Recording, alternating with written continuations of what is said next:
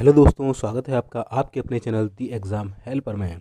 तो आज के इस वीडियो में हम बात करने वाले हैं N B S L D C typing test के, जो हमें एक ऑफिशियल नोटिस मिला हुआ है 2017 में जो आपका एग्ज़ाम हुआ था, टाइपिंग से रिलेटेड उसके बारे में एक नोटिस उन्होंने जारी किया था, जैसा कि इस बार भी वो लोग जारी करेंगे।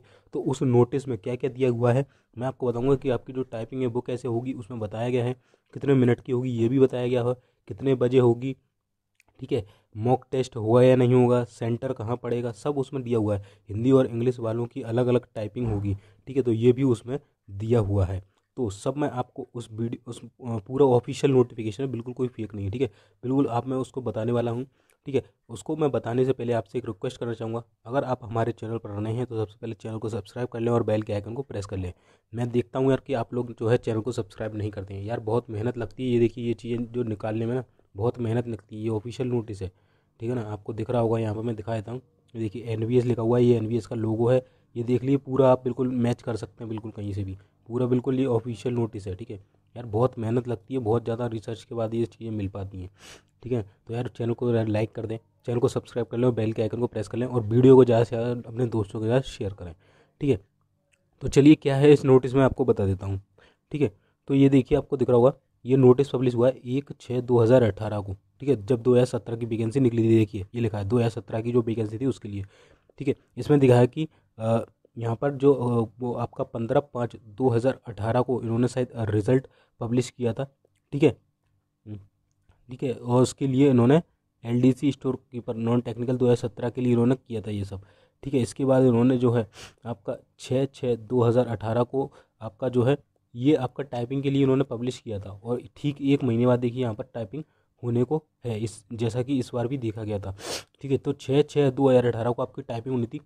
एक छः दो हज़ार अठारह, यानी कि लगभग छः दिन पहले छः दिन पहले आपका एक नोटिस उन्होंने जारी किया है। किस चीज़ को लेकर जारी किया है, वो भी आप इसमें देख लीजिए। ठीक है तो देखिए, दिखा देता हूँ आपको नीचे करके।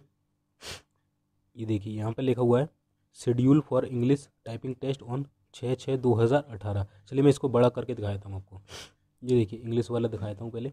ये देखिए, ये लिखा हुआ है schedule for English typing test on छः छः दो हज़ार अट्ठारह को। ठीक है? यहाँ पे लिखा है, देखिए, पहला लिखा है कैंडिडेट की रिपोर्टिंग टाइमिंग दी गई है, कब रिपोर्ट करना है? दस बजे। एंट्री कब होगी? दस बजे ही होगी। ठीक है? और इसमें टोटल सिक्सटी मिनट की एंट्री होगी आपकी, जिसमें आपका डॉक्यूमेंट वेरिफिकेशन जो भी एडमिट कार्ड वगैरह है, जो भी आपके फ़ोटो आधार कार्ड जो भी मांगेंगे वो, जो कि आपके एडमिट कार्ड में दिया गया होगा सब मांगेंगे। ठीक है?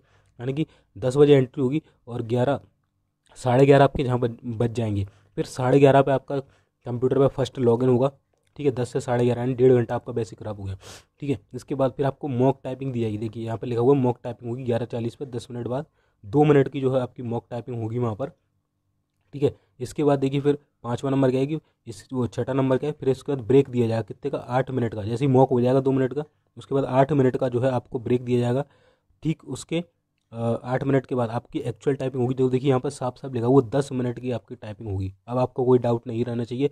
जो आपकी टाइपिंग है, वो दस मिनट की ही होने वाली है। दस मिनट से ज़्यादा की नहीं होने वाली है। मौके भी आपको देखने को मिलेगा दो मिनट का उससे पहले। ठीक है? और जो आप बोल रहे हैं कि मतलब पेपर से पहले मॉक होगा या नहीं, आपको देने को मिलेगा तो इसके बारे में हम कुछ कह नहीं सकते क्योंकि लास्ट ईयर तो इन्होंने दिया था, इस साल दे या नहीं दे, जैसे कि मतलब आपका पेपर है सोलह को तो एक हफ़्ते पहले आपको मतलब कोई नोटिस देना कि आप मॉक लिंक लगा लीजिए ऐसा ऐसा करके ऑनलाइन पर तो दे सकते भी सकते हैं, नहीं दे सकते, उसके बारे में कुछ कह नहीं सकते, ठीक है तो ये चीज़ थी ठीक है, चलो, इसके बाद जो है आपका, ठीक है तो उसमें मैं ये बता दूँ आपको, हिंदी का भी दिखा रहा हूँ, ठीक है तो आप ये हमारा इंस्टाग्राम चैनल है द एग्ज़ाम हेल्पर के नाम से, आप इसे सर्च कीजिए फॉलो कर लीजिए। वहाँ पर आप मुझे मैसेज पर्सनली मैसेज कर सकते हैं और अपने जो भी डाउट हैं वो क्लियर कर सकते हैं। ठीक है तो ये हमारा देखिए इंग्लिश का था इंग्लिश का। इसके बाद होगी हिंदी की। देखिए, हिंदी के लिए इन्होंने अलग से शेड्यूल दिया हुआ है। उस डेट वही है बट देखिए टाइमिंग देखिए। जैसे ही आपका ये ग्यारह पचास पर फिनिश होगा, ठीक है, साढ़े बारह पे आपकी जो है कैंडिडेट रिपोर्टिंग होगी एंट्री होगी साढ़े बारह तक। ठीक है, साढ़े बारह से एक घंटे की। फिर डेढ़ बजे तक वेरिफिकेशन होगा, दो बजे तक डेढ़ से दो। फ़र्स्ट लॉगिन होगा दो बजे, ठीक है। मॉक टाइपिंग फिर से दो मिनट की देखिए हिंदी में भी, फिर ब्रेक आठ मिनट का और फिर एक्चुअल टाइपिंग होगी आपकी जो है वो दस मिनट की। तो शेड्यूल एक ही दिन है बट पहले हिंदी की होगी, पहले इंग्लिश की होगी, फिर हिंदी की होगी, ठीक है। तो इस तरीके से आपकी टाइपिंग होगी अलग अलग एक ही साथ हिंदी और इंग्लिश वालों की टाइपिंग नहीं ली जाएगी। इसके बाद देखिए और दिखा देता हूँ। ठीक है, नीचे क्या लिखा हुआ ये बहुत ज़्यादा इंपॉर्टेंट है। Hall ticket e admit card download link for skill test is already sent ठीक है? तो ये मतलब एडमिट कार्ड के बाद उन्होंने ये एक नोटिस दिया था, ठीक है? तो इसमें देखिए centre will also remain in operation ten A M to two ठीक है? पाँच छः दो हज़ार अठारह को इन्होंने दिया था, ठीक है? मतलब खुल जाएँगे। इसके बाद देखिए डिजिटल आई यू एन जो आपका जो सेंटर दिया था ना उन्होंने सेंटर देखिए यहाँ पर दिया digital I U N zone I U I D Z sector sixty two Noida, ठीक है?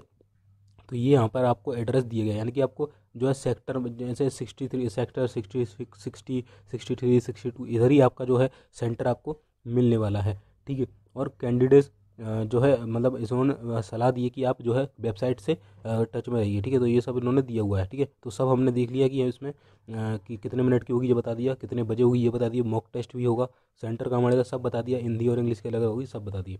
अगर आपका कोई भी डाउट है तो आप हमें इंस्टाग्राम पर फॉलो कर सकते हैं या फिर कमेंट में पूछ सकते हैं। थैंक यू सो मच जय हिंद, जय भारत.